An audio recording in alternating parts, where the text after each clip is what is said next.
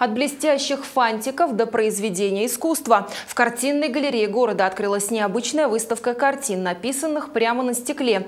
Живопись по стеклу, как одно из направлений Шамаиля, захватила интерес молодой художницы Лисан Валиулиной и через пять лет труда вылилась в персональную выставку. Съемочная группа «Челны-24» познакомилась с картинами автора, и мы готовы рассказать вам о них.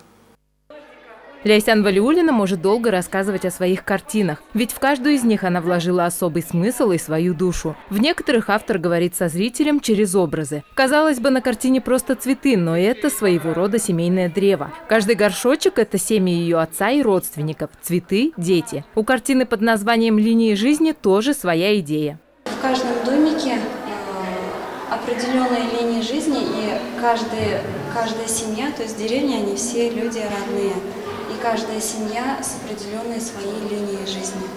Это не просто живопись на стекле. Здесь целый набор различных приемов, как известных до ныне, так и придуманных автором. Работая над картиной, художница оставляет в ней пробелы, а затем заклеивает их фантиками от конфет. Таким образом создается эффект мерцания, что заставляет разглядывать картины подолгу.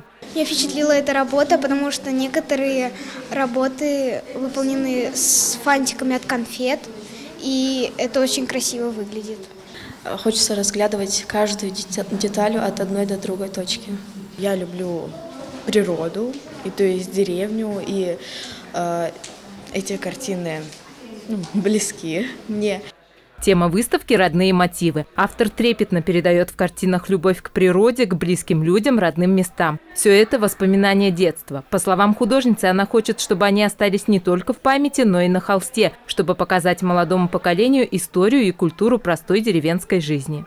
А здесь вот она как-то целенаправленно взяла вот одну тему, тему родной деревни. То есть она вот э, ее больше волнует, глубоко волнует эта тема. И через эту тему она рассказывает о многом.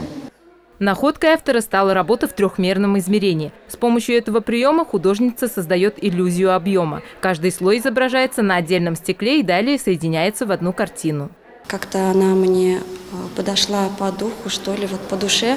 Очень понравилась, и я уже дальше пошла осваивать и добавлять какие-то свои новые, а, новые техники. Кроме того, на выставке представлены графические работы автора и живопись. Всего более 50 картин. Выставка продлится до 11 апреля. Ферния Сулейманова, Радик Ганеев, Челны, 24.